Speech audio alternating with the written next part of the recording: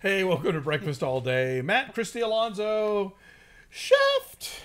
Uh, oh wait, that's No, no, no. I Okay, I I'm want a making Shaft remake in of that. space. Shaft Gordon. Shaft Gordon. Oh my god. So Don't this, every one of us. so this is the 2019 Shaft, not to be confused with the 2000 Shaft or the 1971 Shaft. Uh, I should call this movie Shafted. I feel bad for archivists who have to keep track of this sort of thing, but I feel bad for us because we saw Shaft. Shaft again.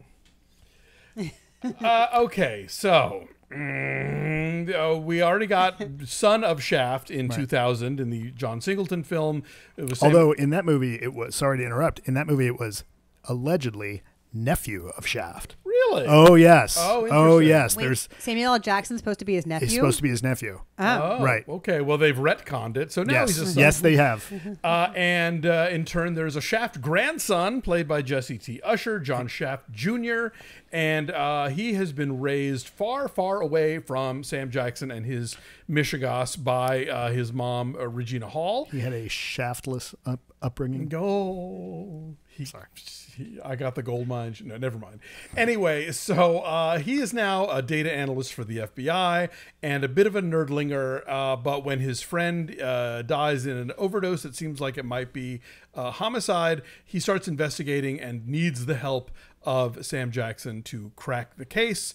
Uh, Sam Jackson, you know, kicks it old school, which in this movie means he basically blowhards like uh, Archie Bunker and uh, has a lot of things to say about millennials and their avocado toast and their coconut water and their, you know, why aren't you more homophobic and misogynist like I am? I don't remember avocado toast coming up. No, but there is a coconut water There's a joke. coconut yes, water joke. and there's a, a whole thing where Oh, that he, was a joke. where he goes into his son's loft and makes fun of the decor. Yes. Yes. It's so yeah, so this this is a comedy, as it turns out. ha ha. From director Tim Story. Somebody thought it was. But uh, yeah, it's kind of irritating in a lot of ways. So here's my question, and this can also go to the doctoral thesis portion of our show, along with when do toys become sentient? Um, can you make a blaxploitation film today, and are they trying to do that here, or are they trying to split the difference between wacky mismatched buddy comedy and blaxploitation film, and in the middle is this incredibly awkward, unfunny mishmash? I think you could, but they don't do it, or they don't do it well here. I think that I think um, that's the, the way that they all of the misogyny, all of the homophobia. There's a terrible trans joke out of nowhere. It's needless. It lands with a Yeah. thud.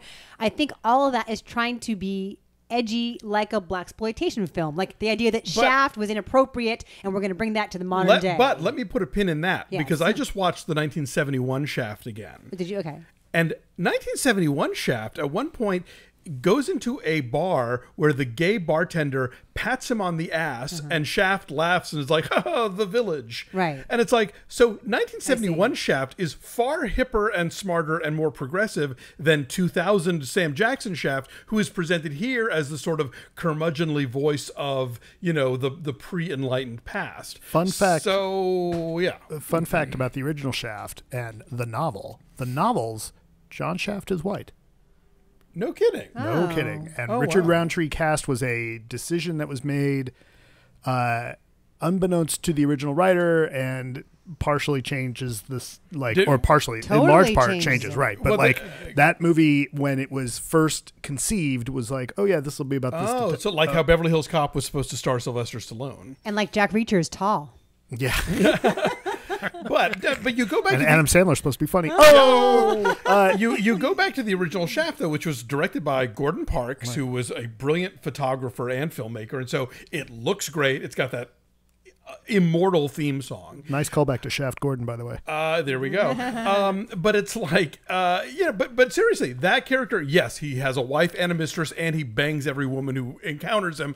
But you know, it Dudes, was- y'all. What? Yeah, it, it is not easy to be a sex machine to all the chicks. Um, but that that movie feels so much smarter and just on top of things than this new one, which feels so hacky the crime plot makes zero sense. Like they resolve it all in this conversation in the back of an Uber that you can barely follow because there's like wacky jokes with the woman driving. That's actually the, car. funniest part of the movie is her jokes and her like horning herself into their conversation. That's the only like legit time I laughed. at I don't all think I this laughed movie. there Yeah, I didn't laugh there either. That's- and, that- oh, and oh, by the way, the women in this movie are all either arm candy, nags, or hostages. Or junkie prostitutes. Oh yeah. Yeah, that too. That too. Except for, I mean, there's a nurse who is Right. very helpful. No, she's a she's a doctor, sexist. Is she a doctor? She's a doctor. I thought she was a nurse. but she's a hostage. oh, okay. Um, like the one time I laughed was where th- there's a there's a part where she's observing from a distance something bad is happening and she runs towards it and the camera doesn't move and then she runs by she goes no no no no no that's that's a that's a basic bitch move but then like two minutes later she does run in and that's when she becomes Yes. a hostage Um, and then we should talk about what a waste of Regina Hall this is. The brilliant and beautiful and awesome Regina Hall. Yeah, all she does here, she's a nag. Yep. And and yet and yet she still loves him. Like she supposedly has a strong sense of self, and she has raised the son on her own, and she has taken Shaft Junior away from Shaft to, for his betterment, whatever. Um, but then she is, you know, ostracized or not ostracized, but criticized by him for making him too quote unquote soft, uh-huh. and she still loves him. Like she's still like, oh, and and and she and the doctor are both turned on by Oh, gunfights. super turned on So, like, uh, all of a sudden, she sees him in a manly way Uh-huh. when he's got a gun and he's killing people in a restaurant. Exactly. and here's the thing the defense for this movie is going to be like, oh, well, you know, yes, all the homophobic jokes and all the misogyny, it's because he's this dinosaur from another era, blah, blah, blah.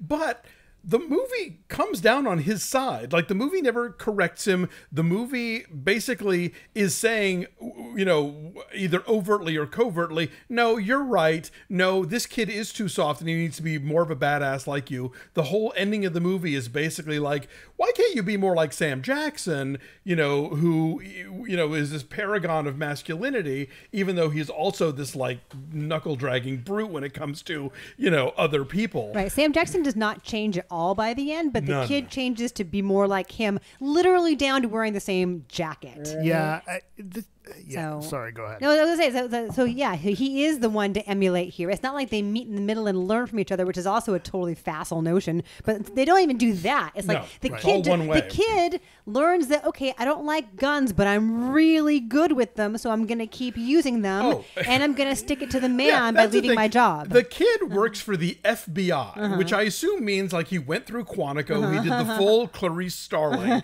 and yet the first time he is given a gun in this movie, he literally like yeah, and like throws it out a window, and I'm like.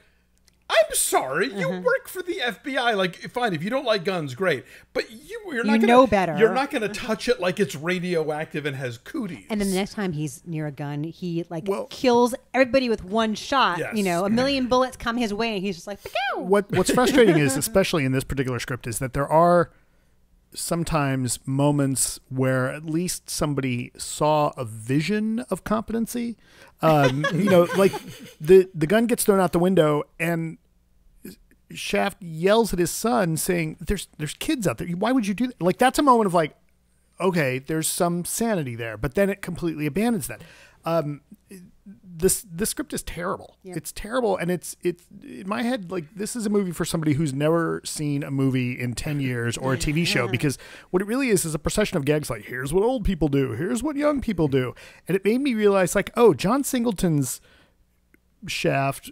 The first time that Sam Jackson played it, that's a solid action movie, right? Christian Bale's in that. Mm. Jeffrey Wright puts in a really interesting performance as the Puerto Rican bad guy. Like I like that that movie's pretty solid. This one is just even Sam Jackson looks bored in this. Also, I gotta call out like there's they make a joke about how Sam Jackson looks older than Richard Roundtree. So Richard Roundtree, i well, Sam Jackson, seventy years old. Richard Roundtree, seventy six. Wow. Right, like there's a six year oh, age difference between them. And then how old Jessie T. Usher? He's supposed to be. See, so he's a baby in 1989. yeah, so he's supposed to be like 30. Oh, Jessie Oh, T. they, they keep saying 25. It's like he gets he gets told. I feel like he got he and the uh, um ship the Alexandra Shipp. Alexandra Shipp got told like okay in this comedy scene we want you to act like high school actors Like Oh, it's like they they stepped off a high school theater production where they're terrible. The- the I first- am trying to act and I'm trying to say something serious. The, the first the first act where he's supposed to be all nerdy, Oh. he is overdoing the nerdy so much. It's like like he's like, like, somebody trying about- to be Jerry Lewis. right. Or Think something. about Urkel, but dial it down about a half a point. Jessie T. Usher is 27. Oh, and he's supposed to be Sam Jackson's son. Son. He could be his grandson, but in 1989 he's a baby. Yeah. Anyway. Uh, Right. It's like there should be three generations Look, of shafts in between there.